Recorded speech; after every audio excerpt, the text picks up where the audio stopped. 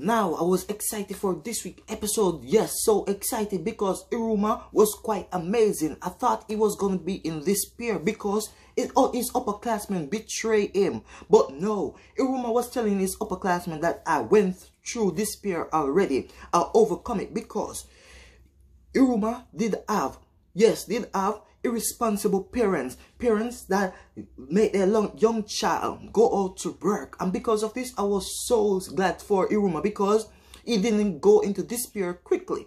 Now, when the upperclassmen face again, go up against Iruma, he thought that he and Iruma was the same person, going to go into despair. But no, Iruma was the opposite of him. And because of this, Iruma was his natural enemy, natural um Iruma was his natural counterpart. And because of this, I was so, so excited to see what Iruma is going to do with this firework. And Iruma showed us in this week episode when he used his full power. Yes, he went to the second class, Demon Lord, by using using the dragon to throw the fireworks into the sky. But it was actually blocked by the barrier.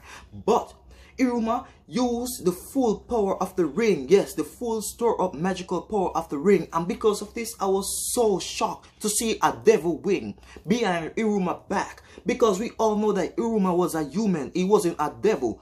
Maybe because of this unleash, the Iruma is going to become half devil and half human. So because of it, I was so excited because Iruma used um use this attack and this attack seriously look like two two of the most strongest attack combined together. What attack i'm talking about? I'm talking about dragon ball z when goku and vegeta combined together to create um goji um gogeta are are what? Vegito?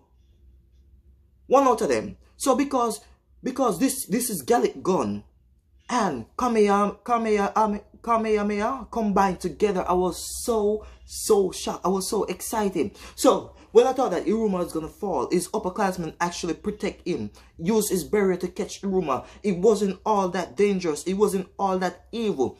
It was just misunderstand because the person that he loved, the person that, that, that, that he depend on, the only friend that he have in kindergarten, left him. And because of this, he was in despair and because of this despair this twist his mind and because of it I was so so sad for him at one point but quite glad because he meet Iruma at, at the few further part into his life and because he meet Iruma Iruma actually changed his path of life. And because of this I was quite excited and can't wait to see what's gonna happen in the new episode. So remember to subscribe or like the video.